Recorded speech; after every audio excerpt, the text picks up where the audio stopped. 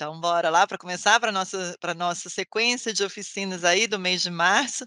Sejam bem-vindos, mais uma mais um mês aí, né, com algumas atividades sendo previstas aí, como vocês já tiveram oportunidade de ver no nosso calendário de oficinas. Nesse mês nós temos uma um uma uma pegada um pouco diferente que a gente vai fazer na semana que vem, uma semana específica do PCA, tá. Então, eh, vocês vão ver que a gente começa essa semana com as oficinas, fazemos um intervalo aí de de uma semana para podermos focar no tema no no no tema PCA, Plano de Contratações Anual, tá. Então fiquem a atentos que a semana que vem a gente na verdade vai ter aí, o a semana inteira de capacitação, sempre às 14h, tá. Alguns dias com um pouco mais mais curta duração, mas sempre no mesmo horário de início, e com a mesma informação que eu vou dar agora serve tanto para oficina como para o PCA. Todas as atividades estão sendo gravadas, como vocês já sabem, vamos utilizar sempre o mesmo link, a gente entende que assim fica mais fácil de vocês se organizarem, de vocês localizarem, né. Então a gente adotou essa estratégia de estar trazendo sempre o mesmo link para poder facilitar aí o o a divulgação também e a o acompanhamento de vocês nos eventos. Acabou mais uma vez a gente pede, acabou, eh, o evento, seja ele qual for, a gente pede para que todos saiam da sala, para que a gente possa gerar o vídeo quanto antes, e assim começar o processo de edição, finalizando a edição, a gente leva para o portal, tá bem? Hoje nós vamos, eh, retomar o tema que nós trouxemos na semana passada, entendemos que que seria prudente a gente reforçar alguns conceitos, algumas apresentações, algumas funcionalidades que foram então compartilhadas, então chamamos novamente vocês cadastradores, né, que no no ambiente de contratos tem um nome distinto que o Diego, que é o nosso instrutor hoje, vai explanar, vai nos apresentar, e qualquer dúvida vocês por favor, coloquem no chat, de preferência a gente pede para que vocês foquem a dúvida de vocês no tema que está sendo apresentado, para que assim o instrutor consiga dar mais fluidez e mais dinâmica no processo, né, de capacitação. E é isso, da minha parte obrigada. Diego, seja bem-vindo. Obrigado, boa tarde. Eu Tudo agradeço, bem, boa Patrícia? tarde. Tudo bom, e você? Tá joia. Bom, então hoje a gente retoma, né, vamos tentar mais uma vez falar sobre contratos aqui e apresentar para vocês de uma forma simples, direta, objetiva, e que aclare um pouco como que a gente vai utilizar esse sistema, que é o sistema Contratos Gov.br, tá. Eu preparei uma apresentação, eh, para ver se a gente tem uma dinâmica um pouco mais didática em relação aqui à nossa apresentação, ao nosso sistema, tá. Então deixa eu colocar aqui na tela. Vou começar a nossa apresentação aqui tentando ser o mais didático possível, o mais, eh eh, simples possível, para que a gente consiga seguir aqui com o nosso plano, tá. A expectativa é que a gente fique aqui 1 hora, 1 hora e 15 mais ou menos de apresentação. Eh, provavelmente esse tempo deve se estender um pouco por conta de dúvidas, e aí a gente pode ao final tentar trabalhar um pouco mais, de forma mais dinâmica, acessando o sistema, mostrando, vendo passo a passo junto com vocês, também aqui na reunião ainda dentro do nosso período, tá. Então, dito isso, vamos lá.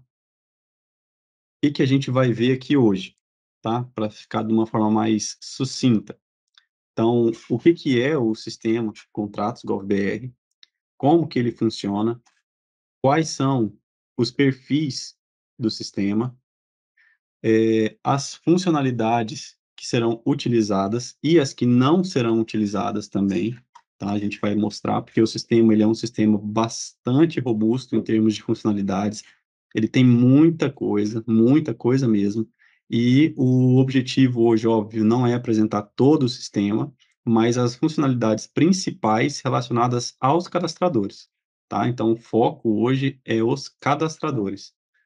Nós vamos falar também como se dá o acesso do sistema, como acessar, como atribuir perfil, e por último, a gente vai falar um pouquinho sobre renovação de senha, problemas de acesso, e como que que essas coisas aí funcionam, como que isso é tratado no contratos, tá bom? Ok. Então, primeiro passo. Primeiro de tudo aqui, o que que é o sistema contratos?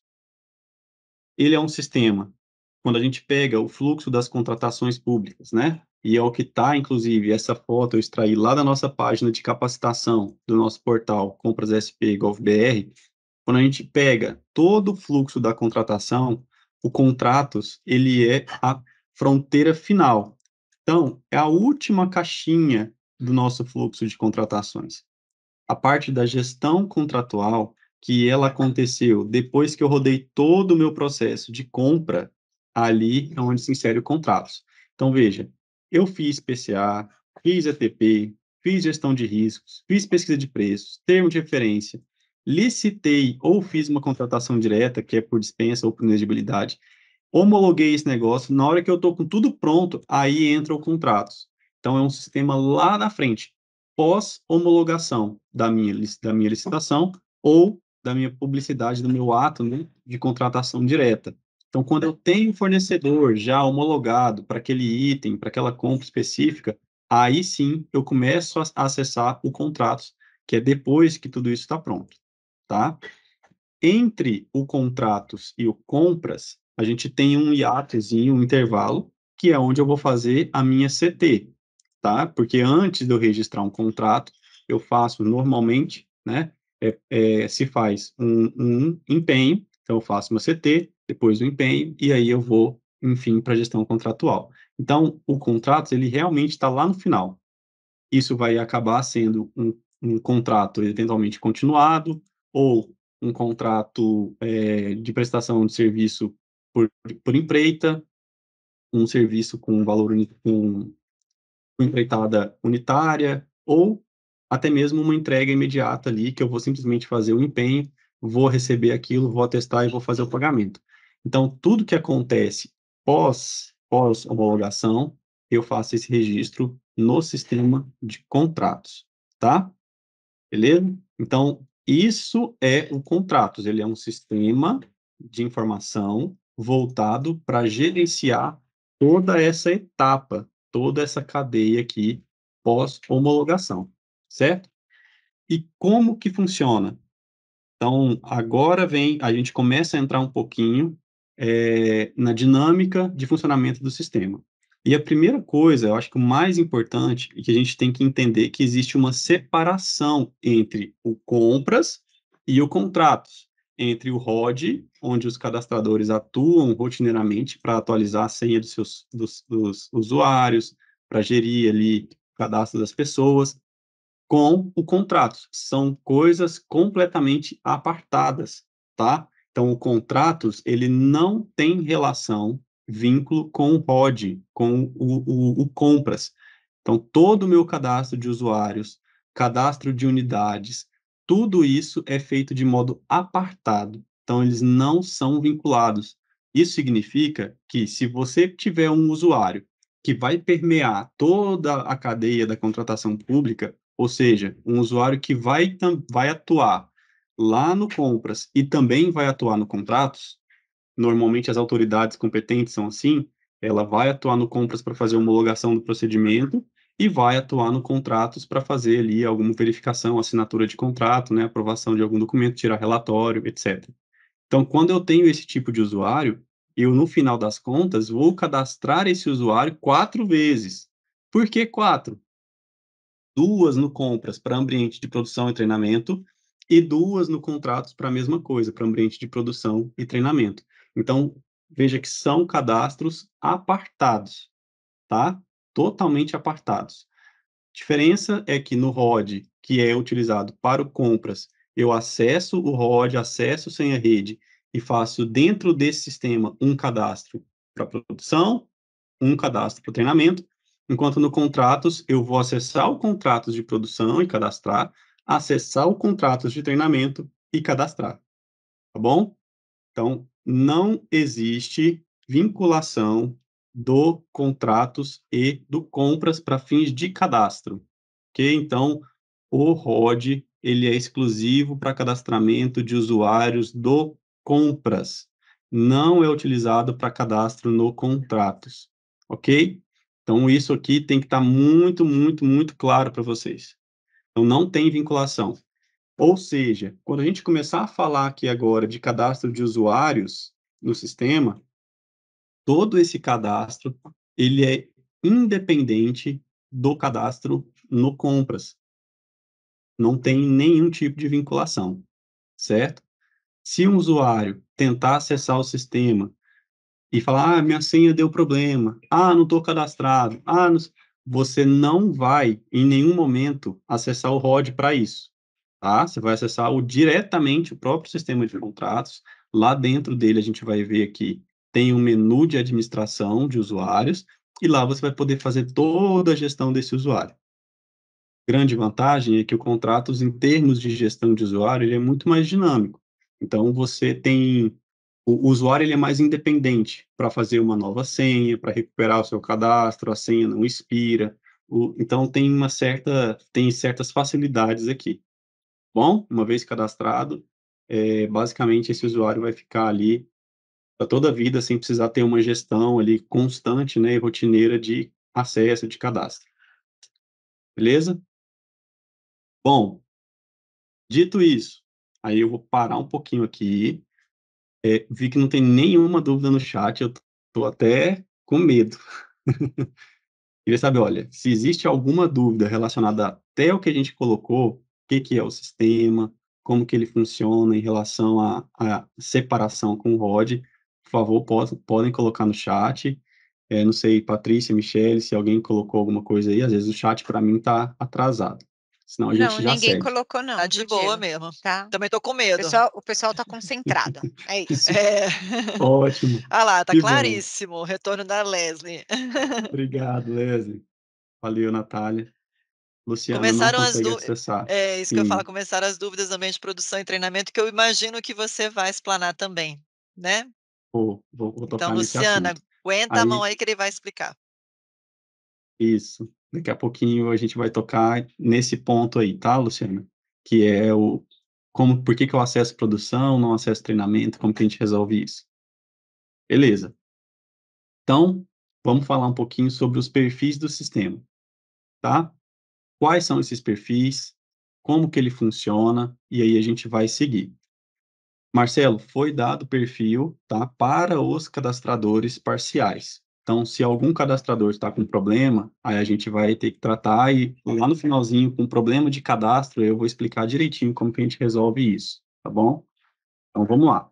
Quais são os perfis do sistema que existem hoje? Lembrando que esses perfis aqui são do contratos, não são perfis do compras, tá? Perfis do contratos. Então, quando a gente, vou voltar aqui, quando a gente tem o sistema ROD e lá o manual do ROD, a gente tem uma série de perfis, aqueles perfis são exclusivos do ROD para aplicação para o compras. Agora, eu vou falar de perfis do contratos.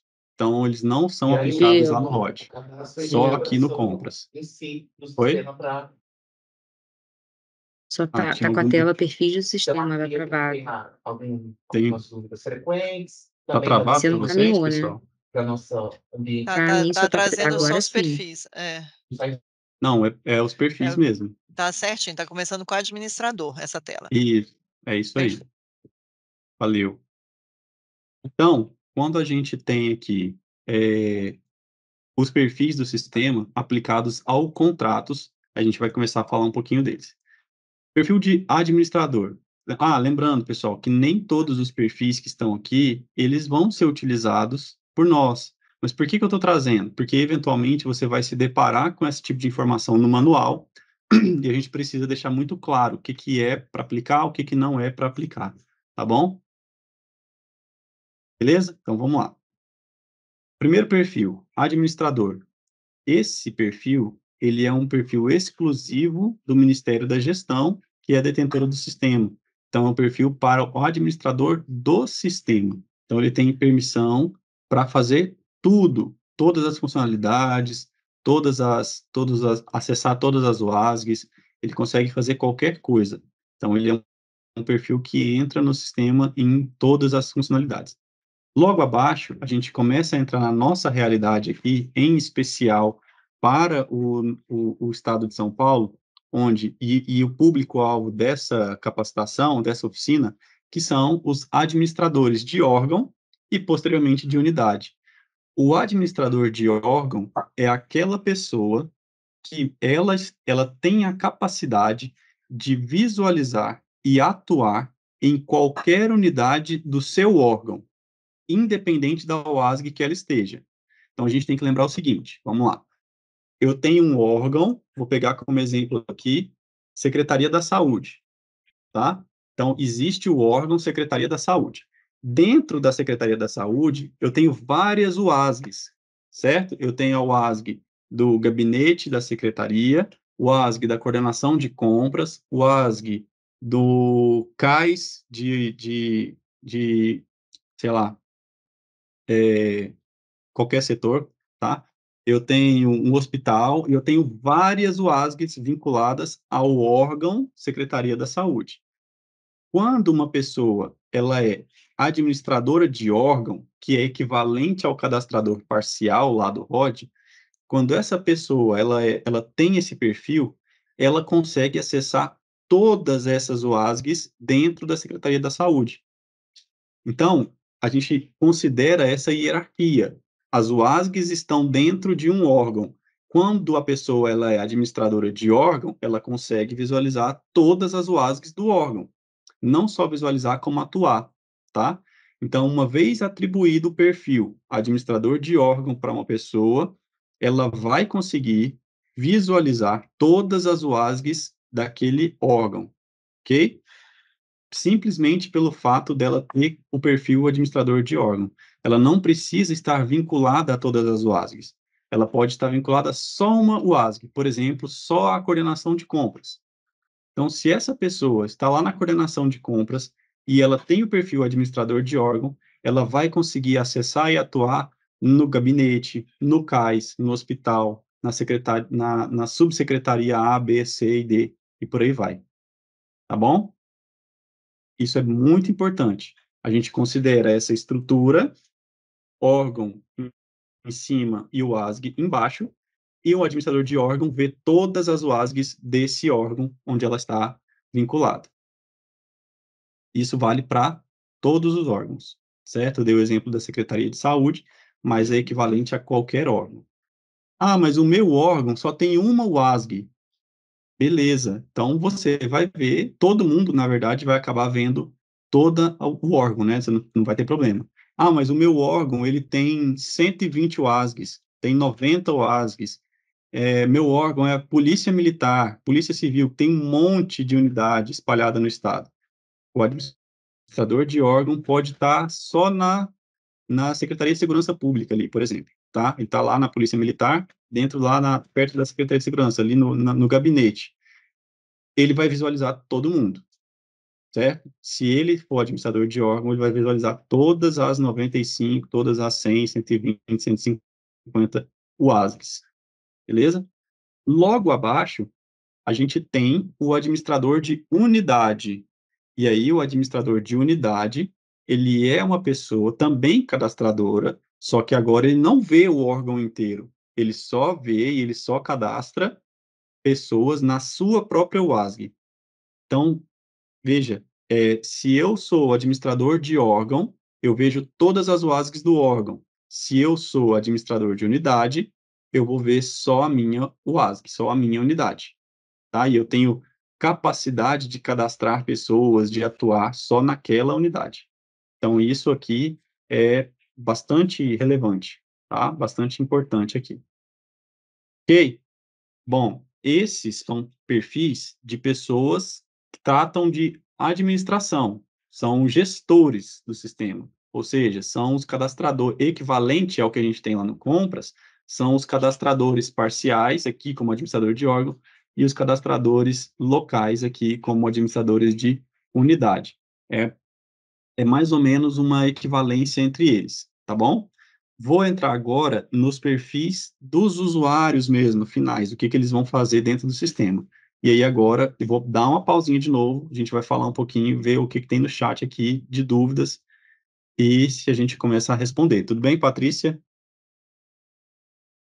Tá ótimo, Diego. Acho ótimo. Tem tem umas perguntas aí, você vai ver agora, né, que tá falando sobre, eh, cadastrador local, cadastrador parcial, em termos de eu acho que talvez você puder reforçar, né, se precisa registrar todas as UASGs ou não dentro de cada um dos perfis, né. E e aí a a pergunta da Stephanie, que você deve estar vendo aí, se o administrador do órgão cadastra pessoas em todas as UASGs do órgão ou se ele apenas consegue visualizar todas as UASGs. Basicamente foram essas esses apontamentos.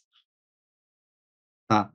Você consegue fazer atuar em todas as UASGs, não é só visualizar.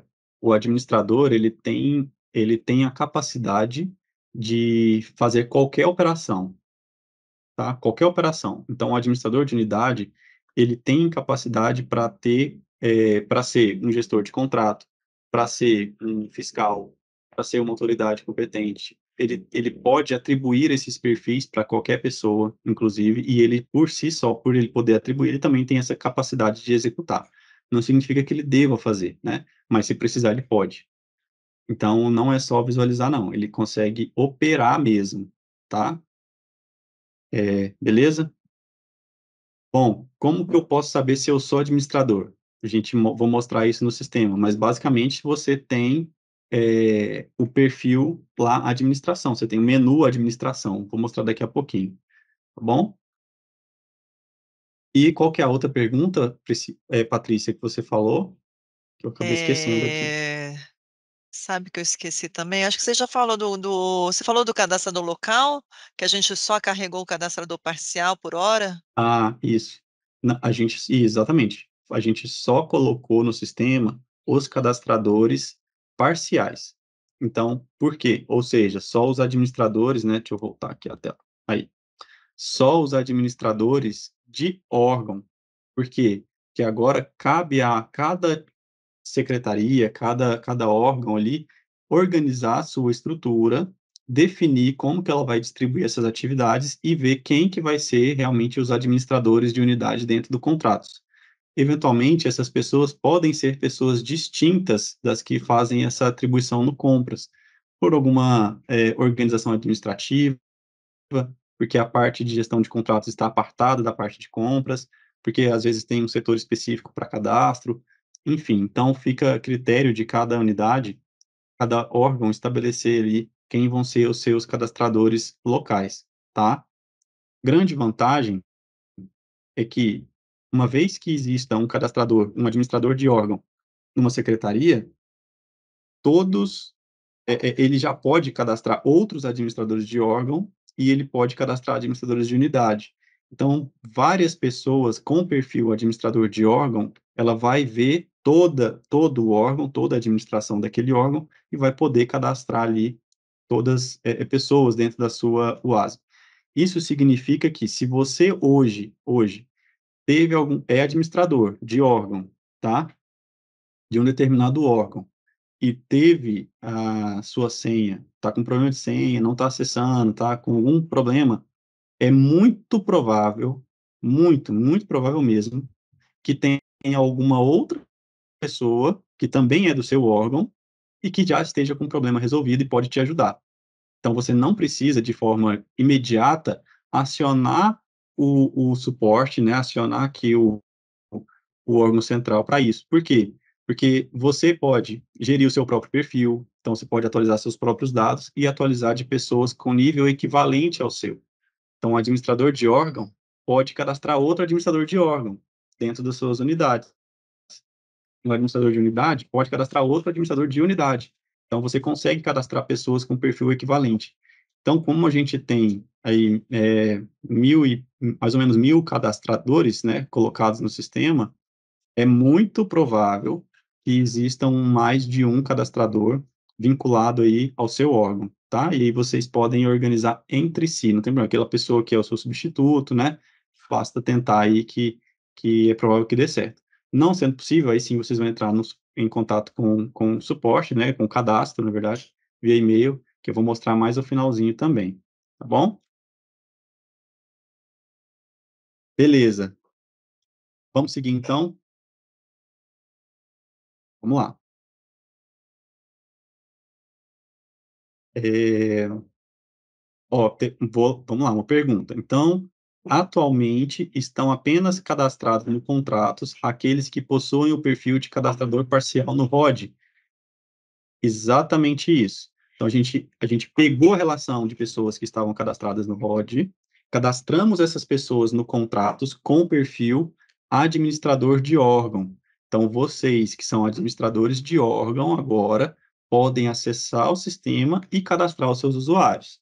Se você é um administrador de unidade e não está cadastrado, né, é porque o seu cadastrador, seu administrador de órgão ainda não te cadastrou. Você então entra em contato com o cadastrador, com o administrador de órgão, né, e peça para ele te cadastrar, tá bom? Mesma coisa para os usuários finais. Entre em contato com os cadastradores e peça para ele te cadastrar. E aí a gente vai preencher aí todo o cadastro de, de, de pessoas, né, de usuários do sistema, tá bom? Lembrando que é muito provável, muito provável mesmo, que os usuários finais aqui sejam diferentes dos usuários que foram cadastrados no compras. Por quê? Porque são atribuições diferentes. Aqui no contrato, como a gente mostrou lá no comecinho, ele está lá na fronteira final do processo. Ele não está ainda é, na etapa de, de, de, contratação, né? Ele já está depois, já é um contrato para ser firmado, assinado. Então, ali eu vou ter setor de fiscalização, vou ter equipe de gestão contratual, vou ter é, pessoas para assinatura de contrato e por aí vai. Tá? Aqui são os perfis que eu vou falar agora com vocês. Bom, Aqui a gente entra, então, nos perfis das pessoas que vão efetivamente usar o sistema. Como de corriqueiro, para qualquer sistema, a gente tem um perfil de consulta, que é um perfil onde você vai consultar né, qualquer coisa dentro do sistema. Ele não atua em nada, ou seja, ele não consegue registrar nada. Ele não registra um contrato, ele não registra um termo aditivo, ele não registra uma repactuação, nada. Ele só consulta. Ele tira relatórios, ele vê todos os contratos que existem, contratos que estão vencendo, contratos que já venceram, é, valores dos contratos, objeto dos contratos, ele, ele, ele consulta tudo isso, extrai relatórios e tudo, mas ele não consegue executar ou criar, registrar nada no sistema, tá bom? A gente tem o perfil de execução financeira e execução de folha. Esses dois perfis, eles são perfis exclusivos para setores financeiros e orçamentários, e eles não vão ser utilizados aqui. Por quê? Porque nós temos um sistema financeiro e orçamentário próprio do Estado, chamado CIAFEM e Contabiliza. Então, nós utilizamos o Contabiliza e o CIAFEM para fazer empenho, para fazer a, a, a, minha, a minha CT, né? para registrar toda essa parte de gestão orçamentária e financeira, para fazer pagamento lá no CIAFEM. Então, toda essa parte, ela não vai ser utilizada no contratos, que também tem essa função. Isso porque o contratos, ele é vinculado ao CIAF, lá do Ministério da, da, tá no governo federal, né? Hoje, Ministério da Fazenda ali, do Tesouro Nacional. Então, por ser vinculado ao CIAF, a gente não vai utilizar tá? Em breve, é possível que, que exista a integração do contratos com outros é, sistemas. Então, por exemplo, o, o, o próprio nosso CIAFEM a ser integrado. Mas isso é uma coisa para o futuro, não é algo para ser feito agora. Então, nós não vamos utilizar a execução financeira, nem execução de folha, tá? Seguindo, a gente tem gestor de ata. Então, é, gestor de ata é um perfil que é utilizado para dar acesso a todo, toda a cadeia da gestão de ata em si, né? A ata de registro de preços. Então, aquela pessoa ou aquelas pessoas, aquele setor que atua com atas de registro de preço, vão receber esse perfil. E esse perfil dá acesso a todas as funcionalidades. E quais são essas funcionalidades? Primeiro, registrar uma ata, então, a, registra essa ata no sistema, encaminha essa ata para o PNCP, faz controle dos pedidos de adesão, tá? Pedidos de adesão que eventualmente cheguem, né, na, de uma ata de de preços, no sistema de contratos você vai poder fazer essa gestão. É, pedidos de para fazer a análise, né, desses, pedidos de adesão, se aceita ou não aceita, controle de saldo da ata, o quanto foi consumido dessa ata, com base naquilo que foi registrado dentro do contrato de execução, também faz esse controle. Então, toda essa parte ela é feita no gestão de ata. Bom, outro perfil que a gente tem aqui é o perfil de preposto. O que, que é esse perfil preposto?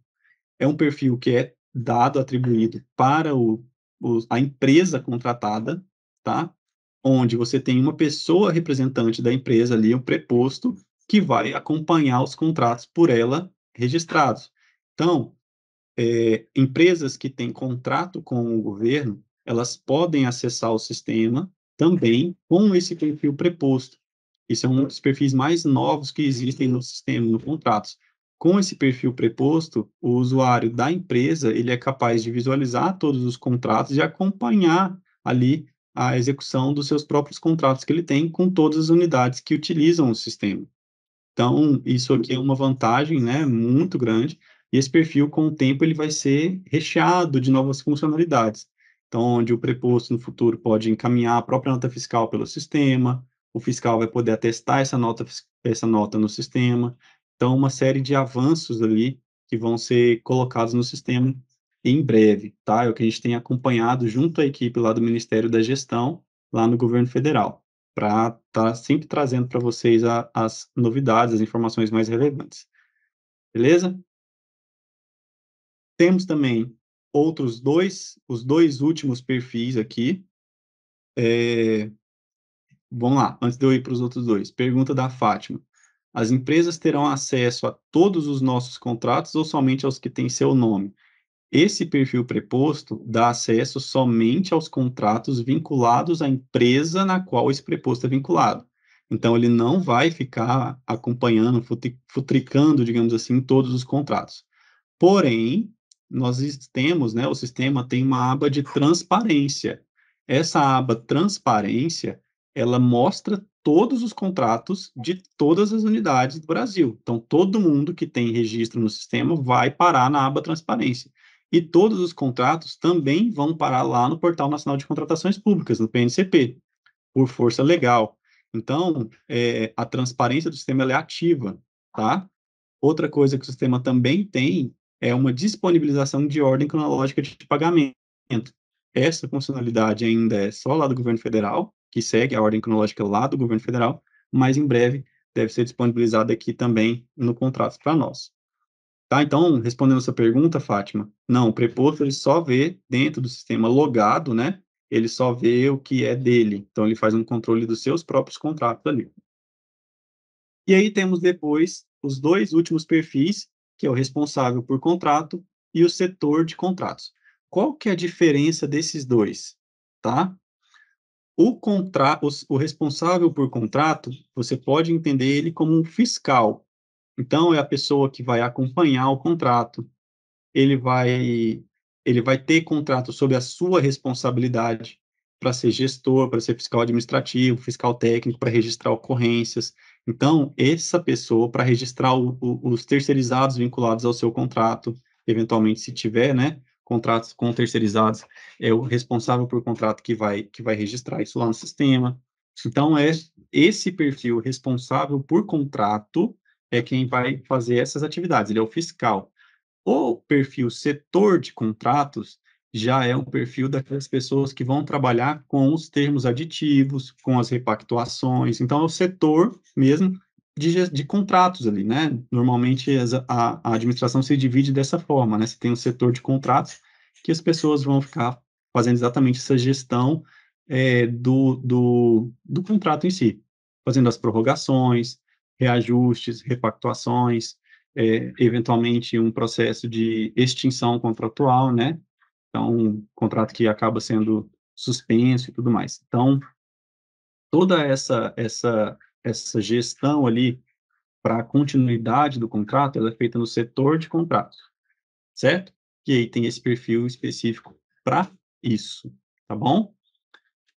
Finalizamos os perfis. Então, quais são os perfis agora? Aliás, quais são os próximos passos agora que a gente vai fazer? Aqui a gente tem, então, funcionalidades que serão e funcionalidades que não serão utilizadas no contrato tá? Então, a gente começa, então, agora a mostrar um pouco o sistema. Como eu mostrei os perfis que serão e não serão, as funcionalidades acabam sendo reflexo desses perfis que serão e não serão utilizados. Quais são eles? Funcionalidades que não serão utilizadas. São três, tá? Nós vamos lembrar aqui, três.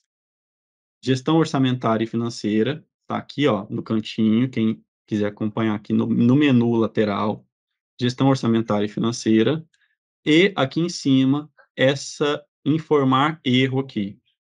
Esse informar erro, ele não será utilizado também. Por quê?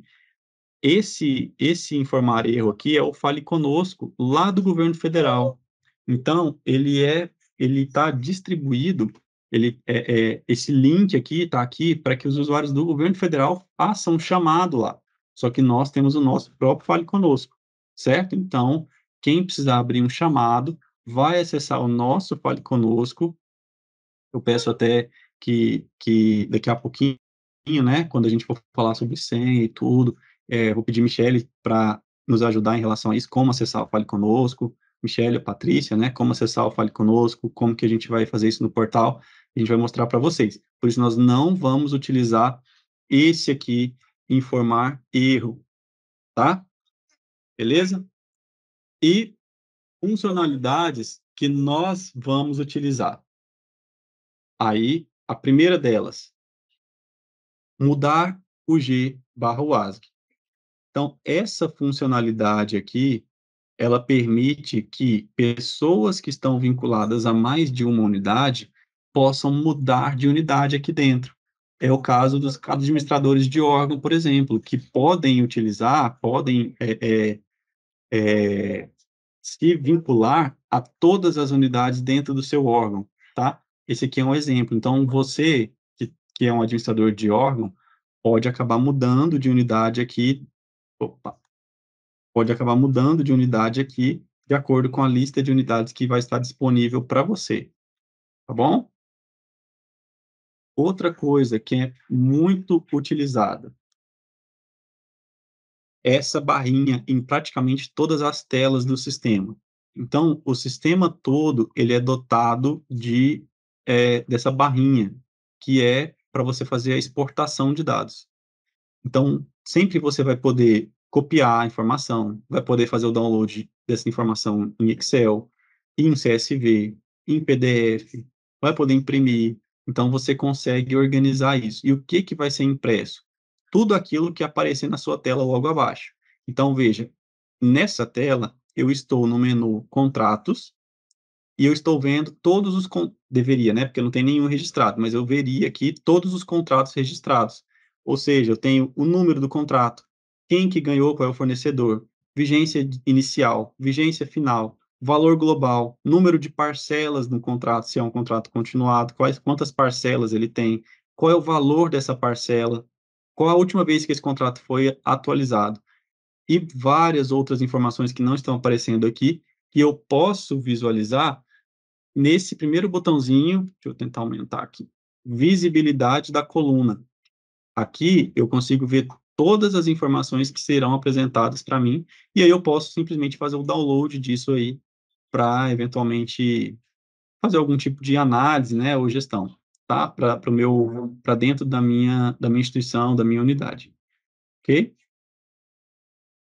Beleza. O sistema, por fim, aqui, ele é sempre nesse padrão, tá? Tudo.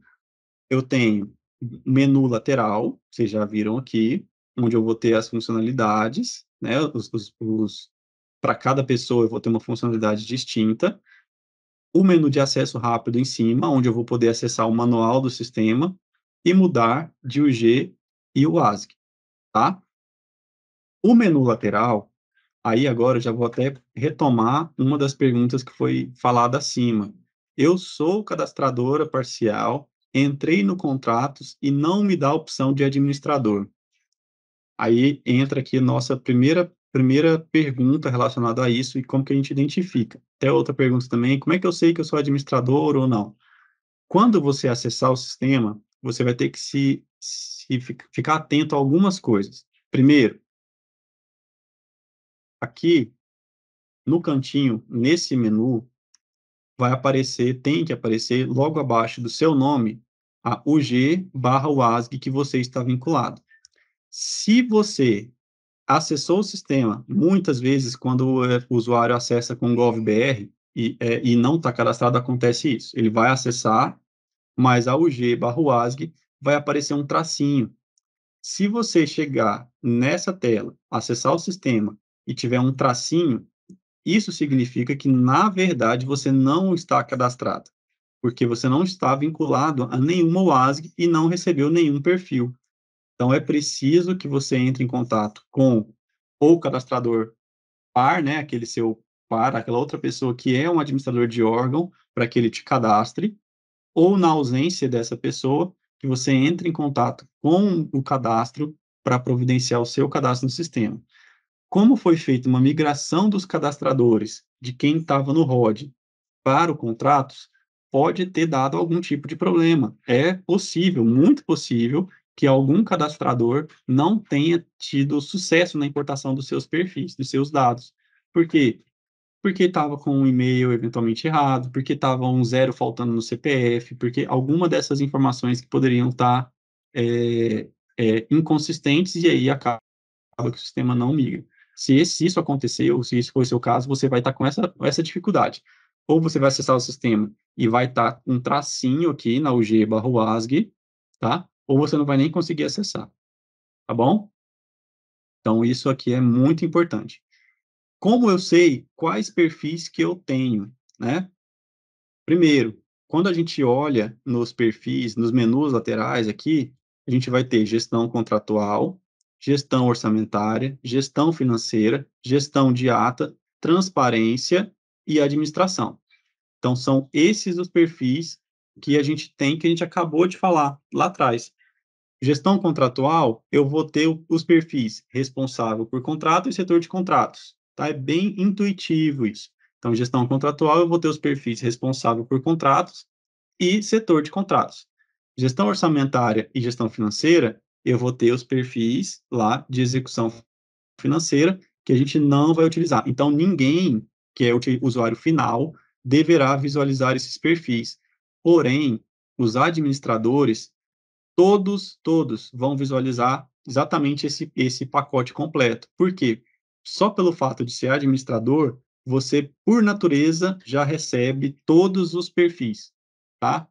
por ser administrador, você já recebe todos os perfis. Então, você vai conseguir visualizar tudo que eu estou visualizando aqui, tudo que eu estou mostrando na tela, tá bom?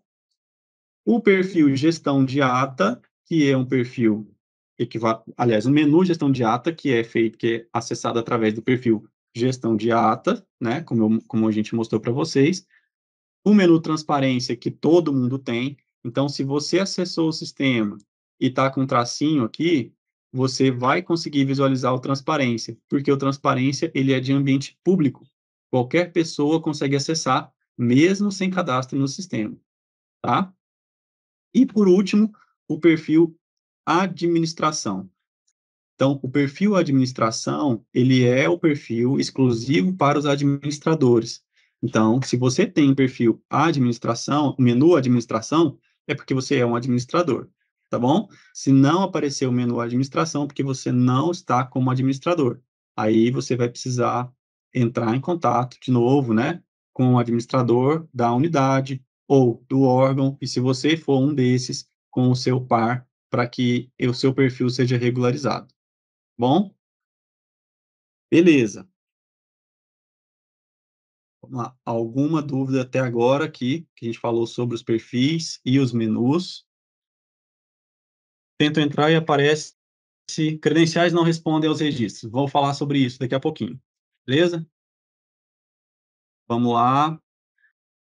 Teve uma é... pergunta, você vai ter que voltar um pouquinho se você não se importar, viu, Diego? Ou senão, se você, você coloca no momento oportuno.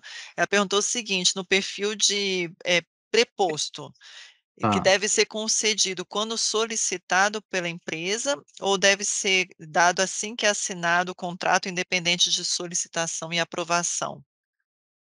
Olha, você pode oferecer, né? Porque hoje não existe ainda no estado uma norma que obrigue, né? a- por exemplo, a gente tem uma norma que obriga que todo fornecedor, todo credor, ele vai receber sempre pelo Banco do Brasil. Então, ele tem que ter conta no Banco do Brasil, certo? Isso é uma obrigação, ele não tem escolha. Nós não temos hoje uma norma que obrigue o usuário a apresentar nota fiscal no sistema, a ter acesso ao sistema contratos. Então, é uma faculdade. É, basta você oferecer, falar, olha, tem um sistema, tem essa, essa funcionalidade de preposto, onde você vai poder acompanhar os seus contratos. E aí fica a critério dele fazer essa, esse acompanhamento ou não, tá bom? Nada impede que dentro do seu órgão você regulamente isso, né, para criar um procedimento padrão de como você vai organizar essas informações, tá? Mas a princípio não é uma obrigatoriedade, não. Obrigado, Patrícia. Então, vamos Eu lá. que agradeço. Beleza. Vamos lá, então. Como... Opa, diminuir aqui. Cadê, cadê? Não, acho que já foi.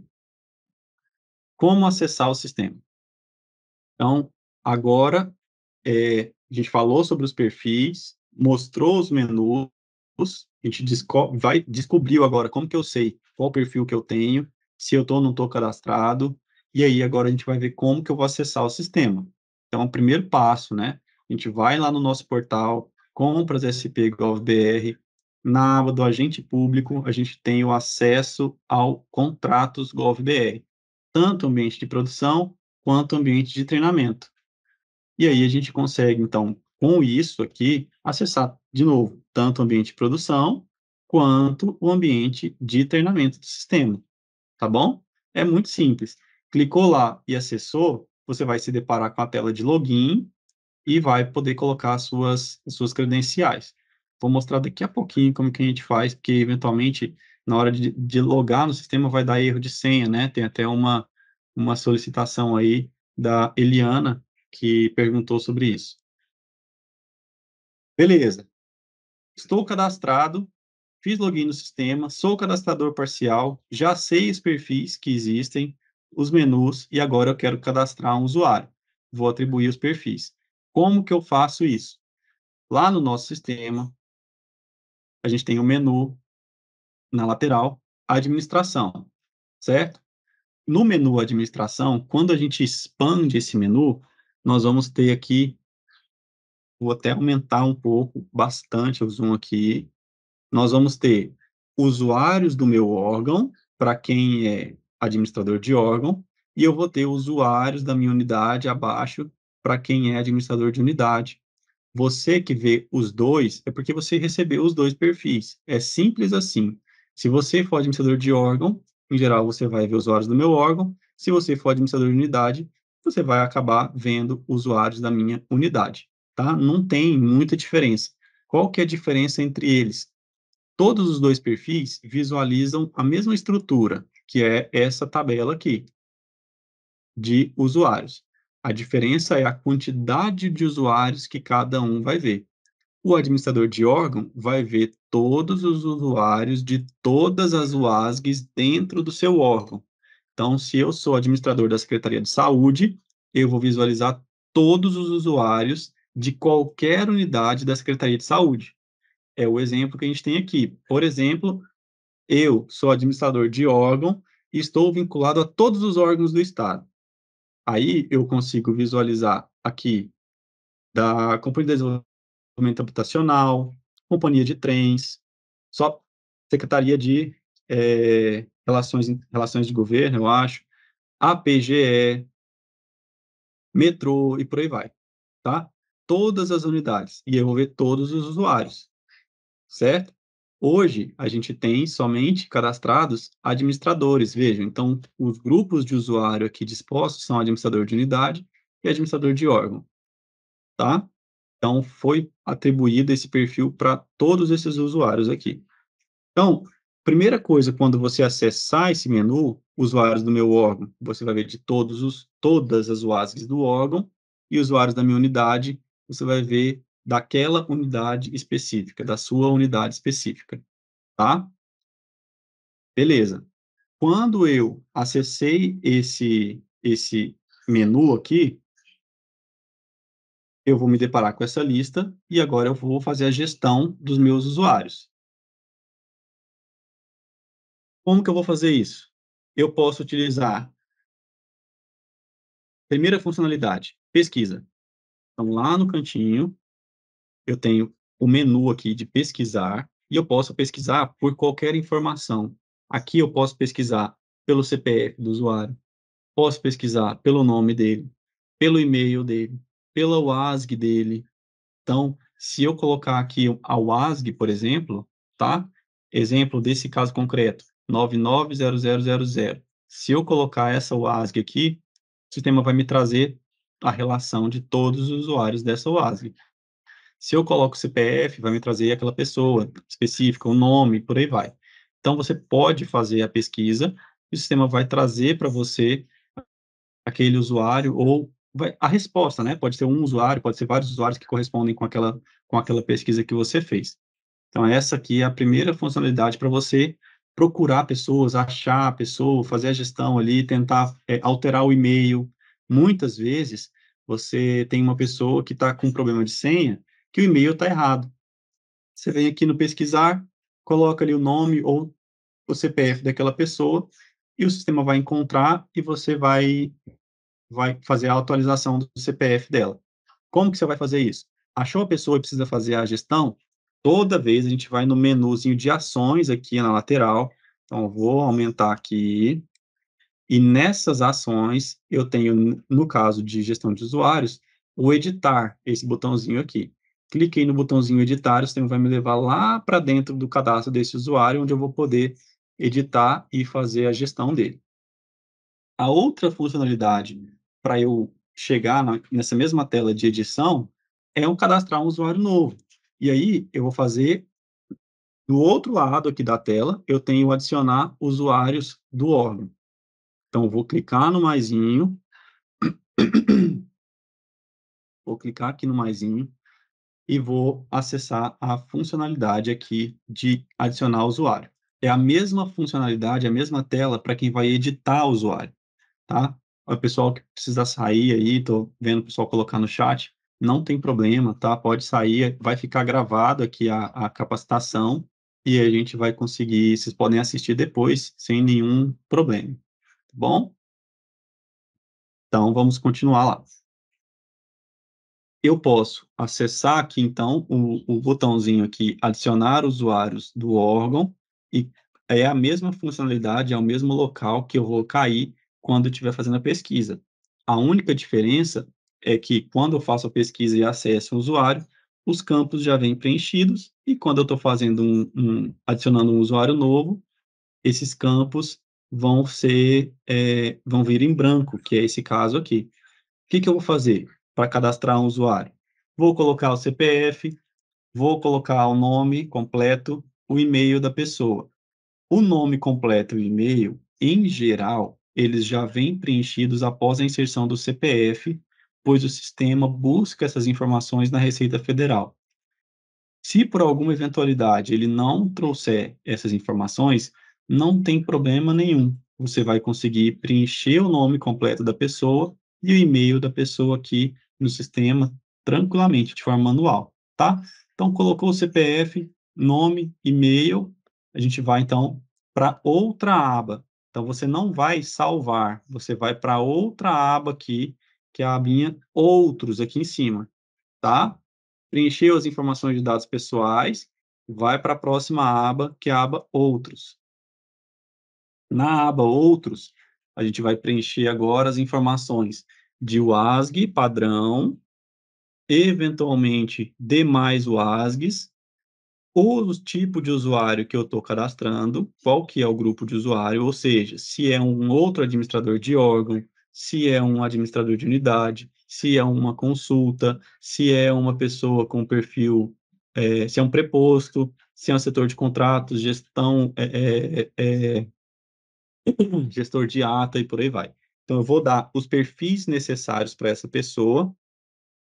Então, eu tenho aqui, tá, essa telinha do, do grupo de usuários e eu vou poder colocar quantos perfis forem necessários. Esse campo específico aqui, demais OASGs, barra UG aqui, ele só deve ser utilizado para pessoas que precisam acessar mais de uma OASG, tá bom? Então, você tem uma pessoa que vai precisar acessar duas unidades, três unidades, quatro, cinco, 200 unidades, você pode colocar aqui, e essa pessoa vai conseguir acessar todas as unidades que ele estiver vinculado. Lembra daquele menuzinho que a gente mostrou lá atrás, que você pode trocar de unidade, lá mudar o ASG barra UG? É aqui que você vai falar quais são as unidades que ele vai poder acessar lá. Então, aí você pode atribuir aqui é, as UASGs e os Gs aqui dessa pessoa. Beleza. Então, cadastro de usuário é isso. Vamos pausar de novo aqui um pouquinho e ver um pouco as perguntas do chat. É, Maria Isabel, falar sobre cadastramento, cadastrar, como cadastramos os prepostos. Tá, é a mesma forma, viu?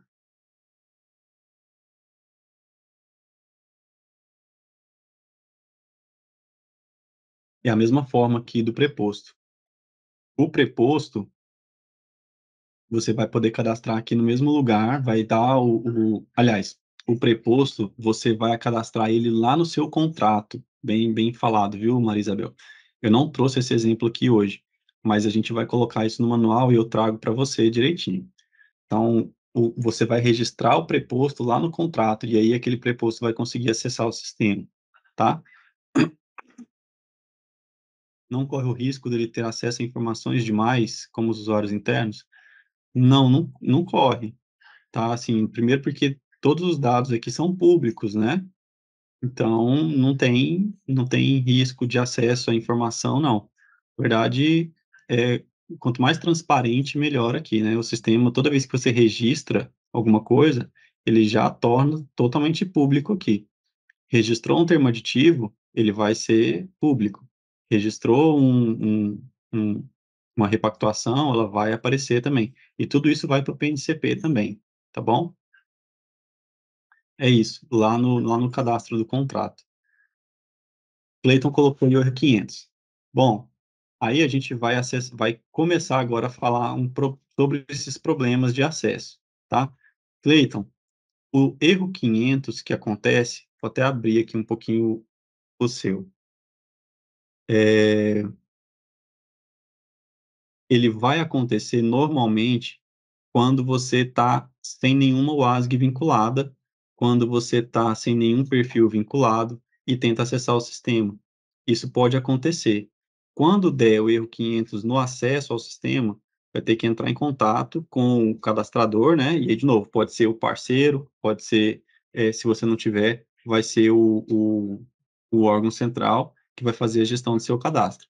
Vai ser, vai entrar lá, atualizar seu cadastro, colocar sua WASG, se for o caso, é, alterar o e-mail, arrumar o nome, fazer alguma, algum ajuste para o sistema salvar seu cadastro novamente e vai liberar ali o seu, o seu acesso, tá bom? Outro erro muito comum que a gente tem é exatamente esse erro aqui, essas credenciais não correspondem aos nossos registros. E aí você vai colocar o seu CPF, coloca a sua senha e aparece exatamente esse erro aqui. Essas credenciais não correspondem aos nossos registros. Quando isso acontecer, inclusive é o mesmo erro que o Estevam acabou de colocar aí, né, Estevam? Quando isso acontecer, o que, que você vai fazer? Vai clicar em esqueci minha senha, logo abaixo. Clica lá no esqueci minha senha, o sistema vai te pedir um e-mail. Então, o primeiro passo aqui é clicar em esqueci a minha senha.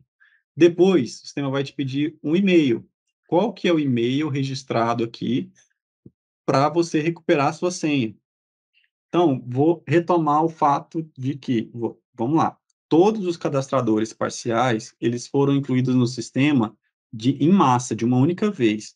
Então, é muito provável que você, cadastrador, não recebeu um e-mail falando que foi cadastrado com a senha, etc porque isso foi feito de uma vez só, não foi feito manualmente, né? Aquelas pessoas que foram cadastradas manualmente, elas acabam recebendo um e-mail informando, olha, você foi cadastrado no contratos, a sua senha é essa, mude sua senha. Então, você recebe essa informação do seu cadastro. Quem foi cadastrado na em massa não recebeu isso. Então, você vai acessar o sistema e vai registrar aqui, é, vai clicar no esqueci a minha senha ou redefinir a senha ali, né? E aí, quando você fizer isso, o sistema vai encaminhar o e-mail lá para o seu e-mail cadastrado. Então, a primeira coisa que você tem que fazer, certificar-se que o e-mail que você está colocando aqui é o e-mail correto. Então, é a primeira coisa, certificar que o e-mail que está colocado aqui é o correto. Qual é o e-mail que foi colocado aqui? É o e-mail que você registrou lá na época do formulário para ser cadastradora parcial.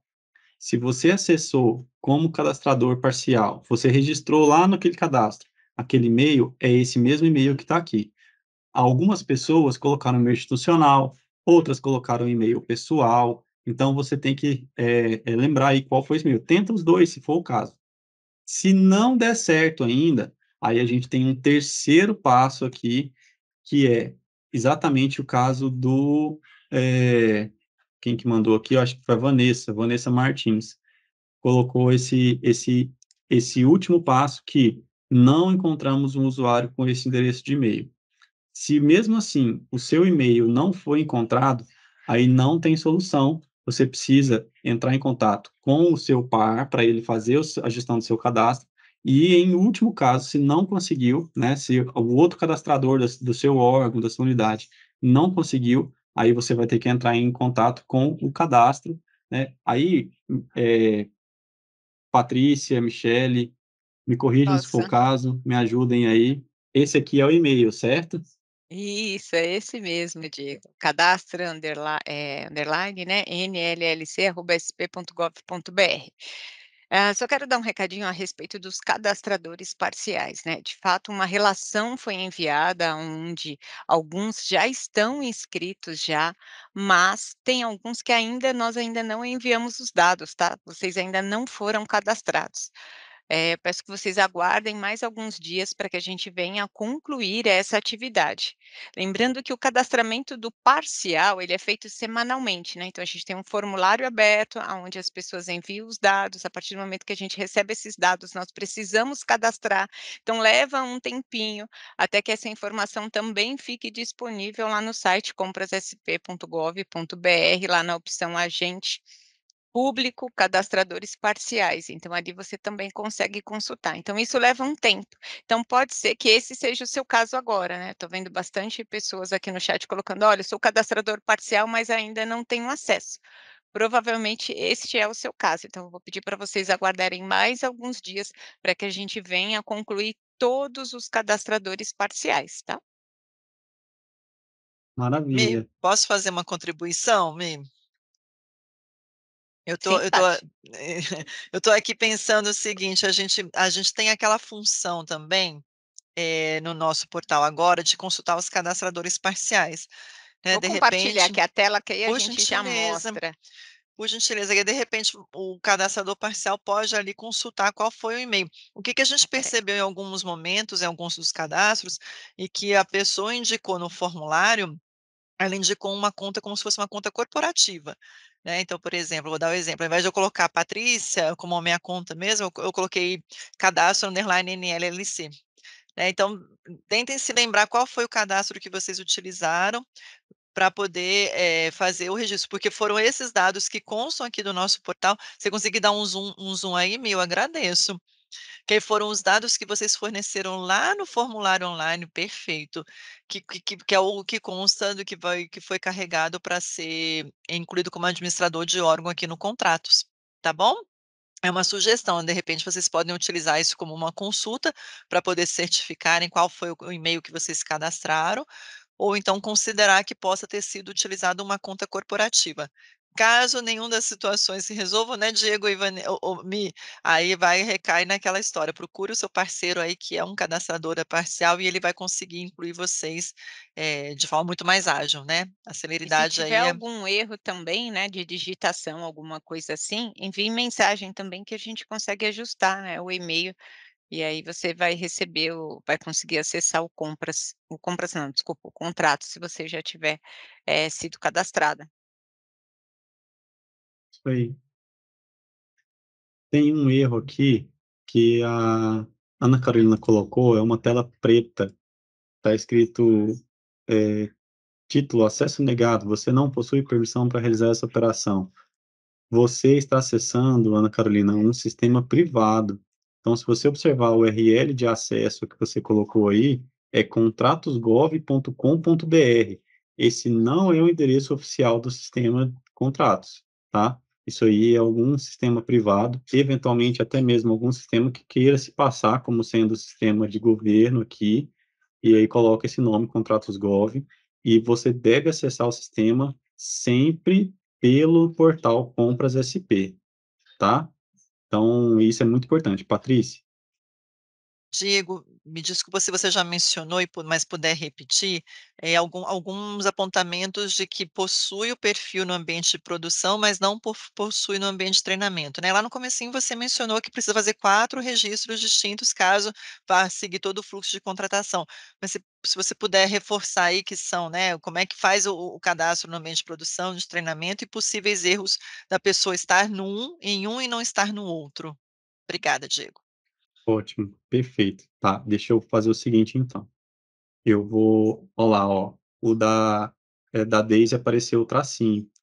Então, você ainda não foi cadastrada, tá, Deise? Então você você acessou com o gov.br, né, provavelmente, então vem com o tracinho, significa que você não foi cadastrada, e aí você precisa ser cadastrada agora no sistema.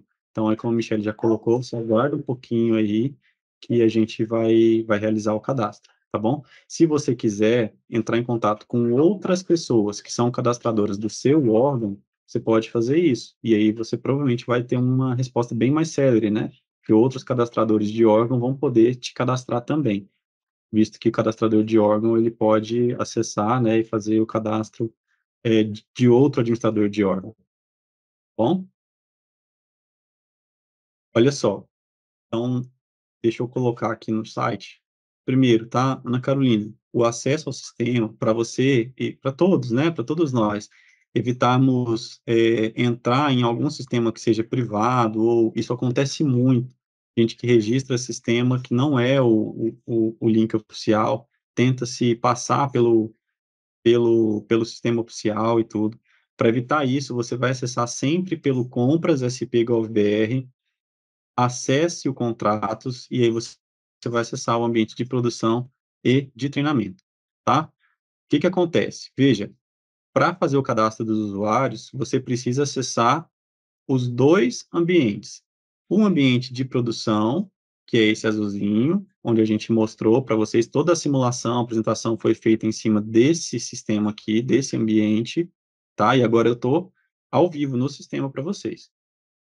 E o ambiente de treinamento é esse aqui, que ele é todo laranjadinho.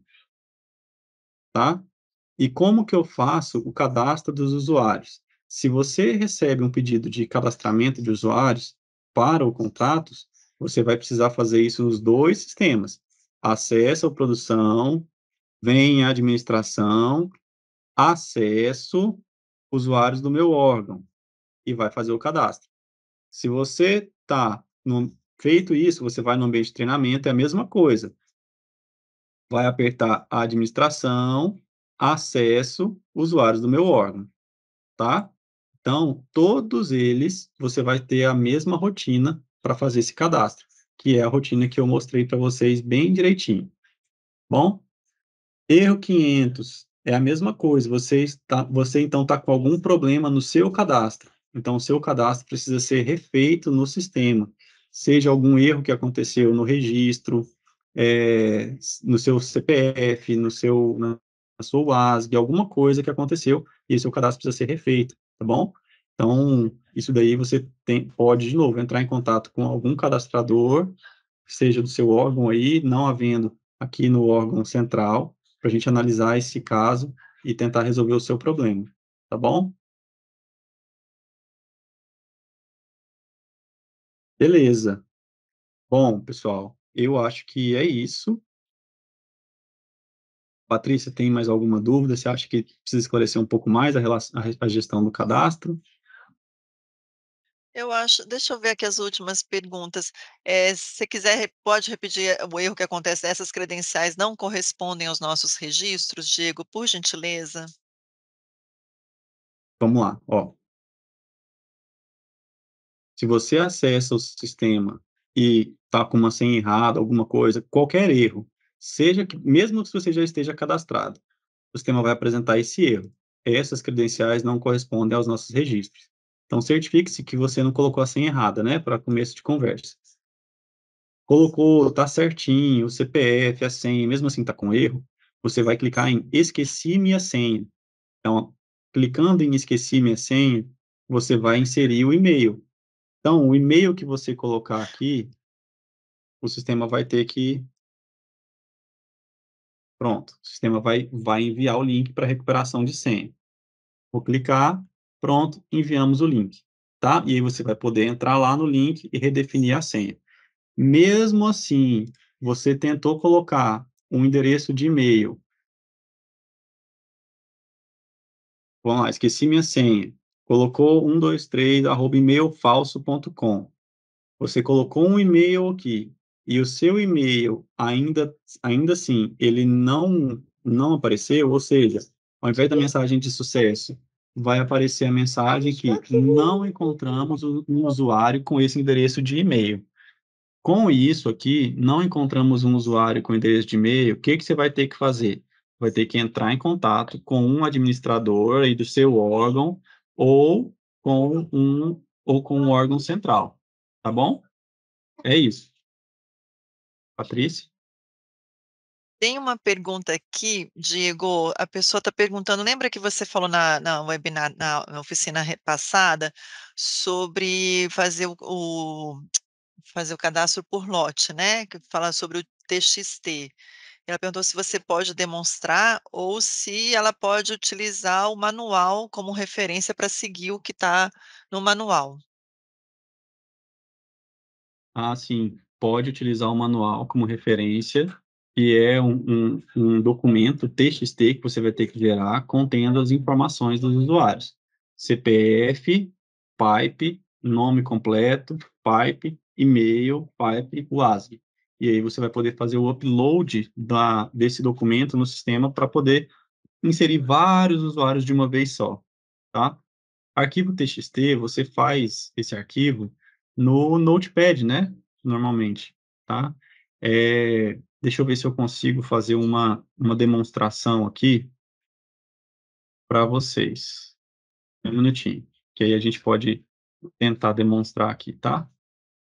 A gente precisa gerar um arquivo do tipo txt contendo as seguintes informações. Então, eu vou colocar 123, 123, 123, 00. Isso aqui é o CPF do usuário tá? Esse CPF, ver se dá para dar um zoom aqui. Aí. Isso aqui é um CPF do usuário. Depois do CPF, eu tenho que colocar essa barrinha aqui. Não tem espaço, não tem nada, tá? Só colocar o CPF, barrinha. Depois da barrinha, vem o nome completo. Fulano da Silva. Depois que eu coloquei o nome completo, outra barrinha, e vem com o e-mail fulano.silva arroba e-mail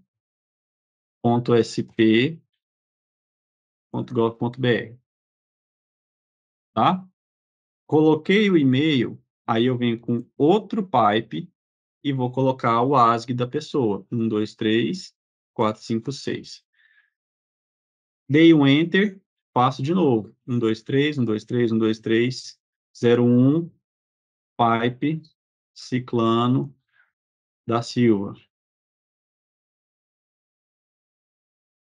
Pipe, ciclano, arroba, sp.gov.br.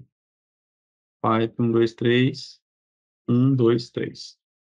Enter, e assim sucessivamente eu vou colocando todos os usuários. Esse arquivo eu vou salvar como arquivo txt, então arquivo, salvar como usuários, usuários, txt, pronto. Salvei, deixa eu tirar isso aqui. Salvei. Salvei esse arquivo, o que, que eu vou fazer agora? Somente administradores vão poder visualizar isso, tá? No, ambiente, no ambiente de treinamento, então, é, salvei o arquivo com todos aqueles usuários, o que, que eu vou fazer agora? ou em administração, outros, outros, aí aqui, ó, é uma funcionalidade específica, tá? Então, não está em acesso, está em outros, e está nesse menuzinho aqui de importações. Então, você vai acessar o menu importações, e ele vai cair nessa abinha de importação aqui. Adicionar importação, nome do arquivo, usuários, contratos, eu acho. Tipo, eu estou inserindo usuários. Qual é o ASG? 53, não, vai ser a 990000. Não vou colocar nenhum contrato, não tem contrato vinculado. Qual o tipo de usuário que é? Ah, é, é setor de contratos. Então, pronto, vou colocar todo mundo no setor de contratos. Delimitador é o pipe, que a gente colocou lá. Vou escolher o arquivo. Eu não vou subir, tá, pessoal? Vou colocar o TXT aqui, tá? E vou salvar essa, colocar a situação pendente. Quando eu salvar isso daqui, o sistema vai, tá? Não coloquei arquivo. O sistema vai, vai processar essa importação e ela vai aparecer aqui para mim, ó.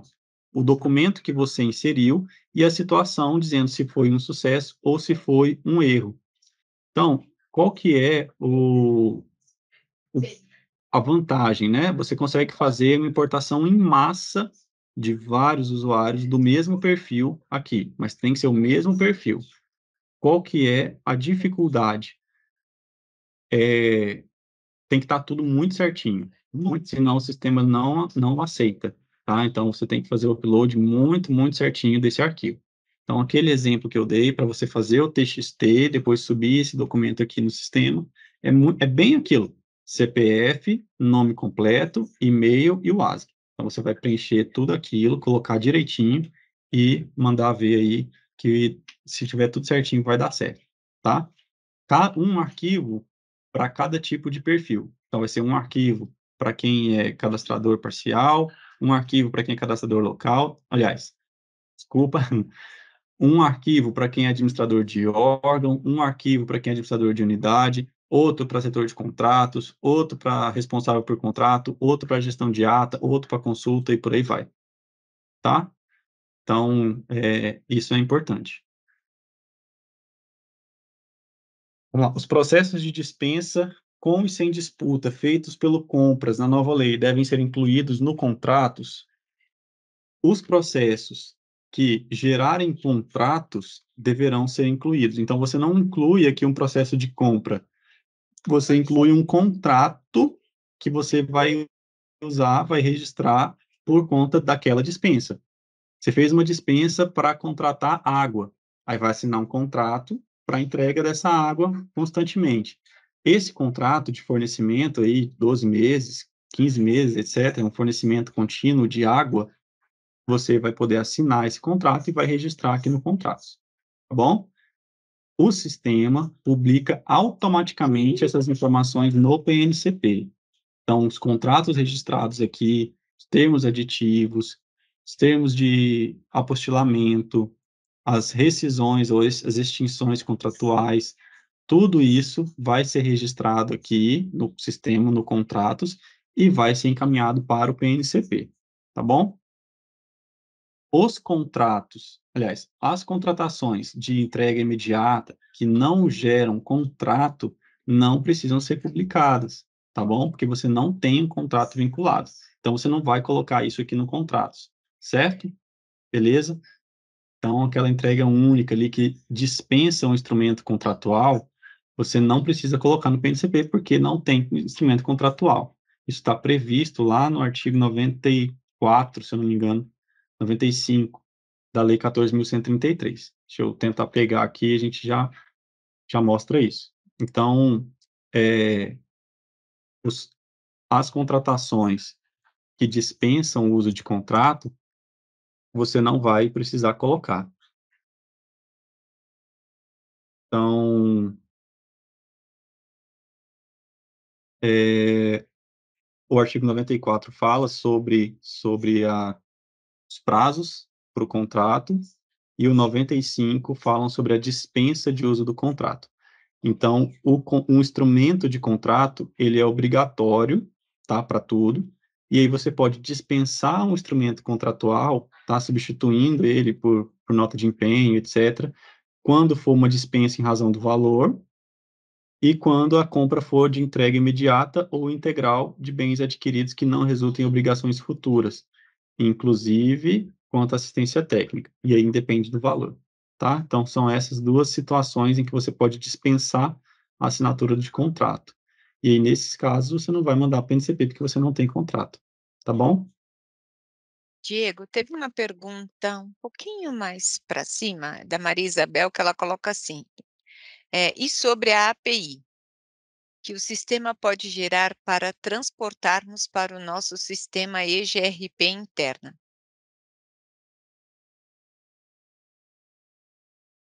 As APIs do sistema, eu acho que o ideal é essas pessoas entrarem em contato com a gente, para a gente trabalhar em conjunto, porque não vai ter como eu demonstrar a API aqui, né? ao vivo. Aí a gente pode conversar, fazer uma reunião, etc., mostrar ou fazer um evento específico para isso, para integrações dos sistemas. E quem quiser puxar as informações do contrato, né, tem as APIs, onde você pode realmente pegar e integrar. Aí é um perfil específico, nem está no manual, que é o perfil de, de, de acesso à API do sistema. A gente vai ter que fazer o cadastro dos IPs vinculados que vão que vão eventualmente estar tá, tá utilizando, então não tem um token, tem um controle por, por, por range de IPs, e a gente pode ir conversando sobre isso daí, eu acho que em um momento específico para tratar disso, porque senão não vai, não vai dar, né? Eu vou mostrar aqui, vai ficar 90% das pessoas não vão nem entender nada. Aí peço que entre em contato com a gente, para a gente conversar um pouquinho sobre essas APIs e assessorar o órgão nessa integração com contratos, tá? Aí o FDE tem o GRP próprio, vai precisar muito, muito disso aí. Aí, Maria Isabel, pode, pode falar com a gente, que a gente tenta auxiliar nessa integração. Legal, Diego, tem um, um erro, quando a gente estava falando sobre os erros de sistema, né, é, apareceu um erro, assim, no ambiente de treinamento, no campo CPF, pontuação do reCAPTCHA insuficiente. É só clicar lá na senha e acessar de novo. Clicar Isso, no? ó, isso já aconteceu comigo. Isso acontece principalmente para quem tem senha, senha é, salva no computador, que é o meu caso. E aí a pessoa vem, coloca aqui e rapidamente aperta o botão entrar. Aí aparece um erro de reCAPTCHA.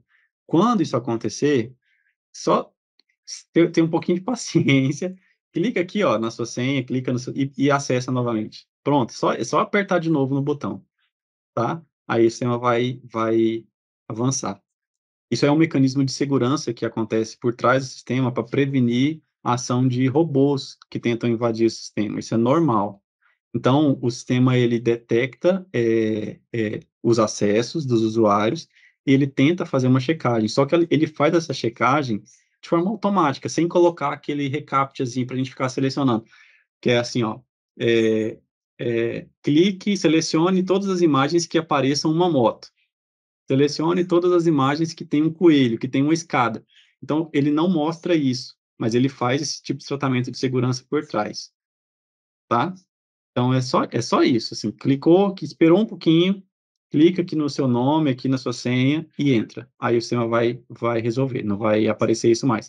Tanto que esse erro de recaptcha, ele aparece eventualmente para alguns usuários e só. Assim, não é uma coisa recorrente, não. Ok? Ah, é. Alguma então esses essas duas pessoas que fizeram comentário aqui que que aconteceu também, a gente pede para testar de novo, né, Diego? Testar, Isso. fazer do jeito que você sugeriu, tá. E É, tem uma per boa. E tem uma pergunta da Maria Isabel aqui, ó, que perguntou: "Depois de cadastrados pelo administrador, todos os usuários poderão acessar com suas senhas gov.br e certificado digital?" Isso, o contratos, ele não ele pode acessar, né, mas ele não tem não exige certificado digital também. E sim, você, usuário, qualquer usuário vai poder acessar tanto com senha quanto com o gov.br, tá? Depois de cadastrado, já está liberado, é automático. É isso mesmo. Diego, eu acho que é isso. Tem uma pergunta aqui, lá no comecinho, eu até falei com a pessoa que a gente poderia trazer se você não não fosse abordar, e ele falou assim, ó, eh, se deve colocar todos os contratos em andamento você já falou, né, mas só para reforçar, se deve colocar todos os contratos em andamento ou somente os novos pela ou somente os pela nova lei? Né, embora você já tenha falado que só só aquele que gera contrato, né, se você puder Isso. reforçar mais uma vez. Reforço, e aí nessa pergunta tem um ponto bem importante.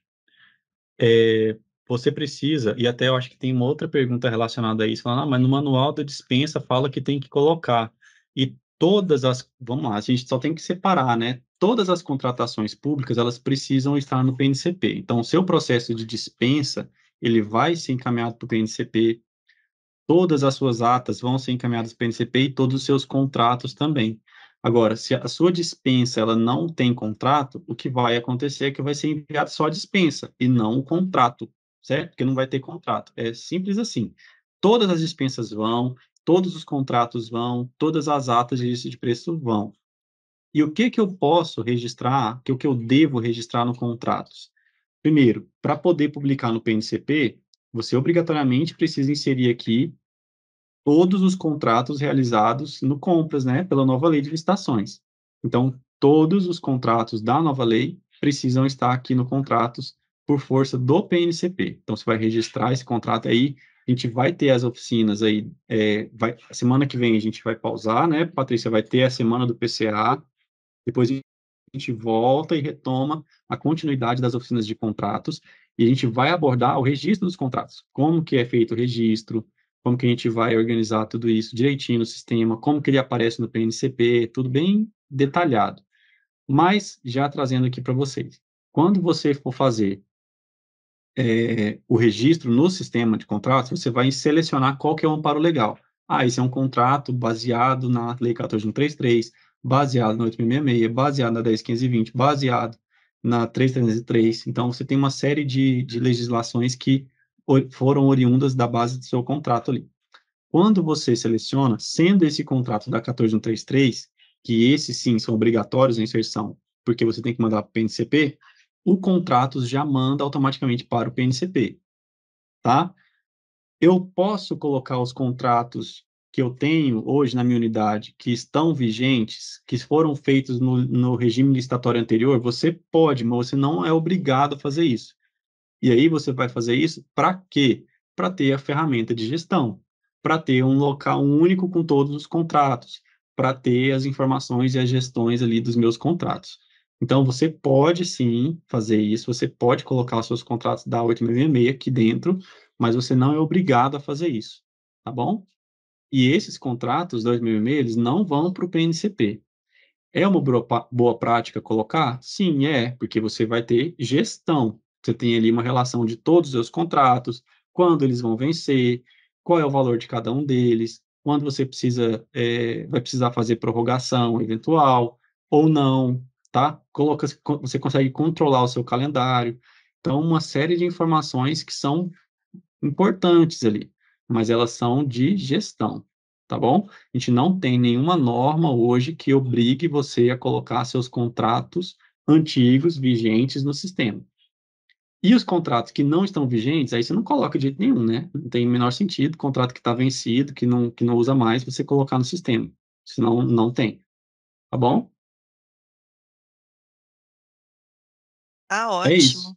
Eu acho que é também. Tem uma pergunta do Marcelo aqui, que ele está falando que ele é cadastrador parcial, né, se ele como cadastrador consegue cadastrar como parcial local o as os os usuários no setor de contratos, né. Sim, E a consegue. resposta é sim, né. E eu acho que é É isso isso aí. aí.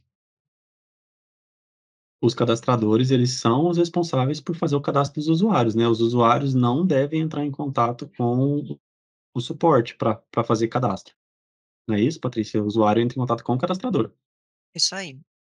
É isso aí, a gente pede para vocês procurarem né, os parceiros de vocês, se vocês vocês sabem quem são os cadastradores parciais, já que são que atuam juntamente com vocês, né, e e aí vocês pedem para eles até mesmo até uma forma de vocês também se familiarizarem mais com a ferramenta, né, poderem fazer as algumas simulações aí no sistema, e ajudar o seu parceiro, né, que fica muito mais célere, gente. A gente pede desculpa, a gente sabe que algumas mensagens chegaram até nós e a gente ainda não conseguiu atender a todos vocês. O volume realmente é muito intenso, a equipe realmente é muito enxuta, mas a gente tem tem trazido, eh, algumas alternativas visando vocês terem essa au autonomia e poderem ter mais celeridade, mais independência aí na no nas nessas nessas gerências internas, né. Eh, parcial ou local, não entendi, Marcelo. Você consegue fazer os 2, né. Olha eu o roubando o espaço do instrutor. Diego. Diego, eu acho que a dúvida do Marcelo é sobre ajudando, claro, Marcelo, é se ele pode incluir também um administrador do órgão, né, que é o o nome equivalente ao cadastrador parcial que a gente usa aqui. Você pode, por gentileza, reforçar essa essa dinâmica? Claro. Marcelo, você pode incluir sim uma pessoa com o mesmo nível que o seu, então se você é um cadastrador local, ou você pode colocar outro cadastrador local, não tem problema. Se você é um parcial, você pode incluir outro parcial. Então dentro da unidade, vamos supor que você é um cadastrador parcial, né, você é um administrador de órgão, tá aqui no nível do órgão inteiro, e você cadastrou pessoas dentro da unidade. Lá na unidade, eles conseguem se resolver. Então, um administrador de unidade lá, um local, ele consegue cadastrar outro local lá dentro, sem precisar te acionar para isso, tá bom? Viu, Marcelo, você foi ajudado. Hum. Lembrando, né, é no ambiente de produção e no de treinamento, tá. Então a a o fluxo continua similar ao que vocês já aprenderam aí no ROD. É isso, gente, eu queria Diego, você gostaria de fazer alguma acrescentar alguma informação? Hã, é Nada, isso, né, eu acho que é que por aí. ho acho que por hora é isso. A gente eu queria só aproveitar eu eu vou fazer uma errata aqui, tá. Eu divulguei lá no grupo de cadastradores parciais uma arte da semana do PCA e lá não constava o horário, tá. O horário é das 14 às 16, já fizemos a correção da arte, me desculpem, a gente vai divulgar novamente lá no grupo de cadastradores parciais pra que vocês possam, eh, divulgar internamente e e convidar o pessoal pra participar. Mas na quinta-feira estamos aqui, também mais uma vez com esse fórum, a gente entende o papel importante que é o de vocês como cadastradores e agora administradores do órgão, por isso que a gente optou por fazer uma semana intensiva pra trazer, eh, oportunidade de vocês fazerem todos os esclarecimentos, né, eh, referente agora ao módulo contratos, então a gente convida pra que vocês tragam as dúvidas, né. A próxima oficina será de dúvidas, o tema de hoje exatamente, tá, Regilane? Então a gente pede pra que vocês façam aí as simulações, fa tenta fazer inclusões, e as dúvidas que surgirem ao longo desses 2 dias aí, vocês tragam na quinta-feira, pra que o Diego consiga fazer simulações, consiga fazer os esclarecimentos, e assim vocês possam tocar sem grandes dificuldades, né. Da minha parte é isso, Diego obrigada, Michele, Camila, Vanessa que estão aqui também nos acompanhando, muito obrigada. Uma boa tarde. agradeço. Valeu pessoal, tchau, Até tchau. mais pessoal, tchau, tchau. Tchau.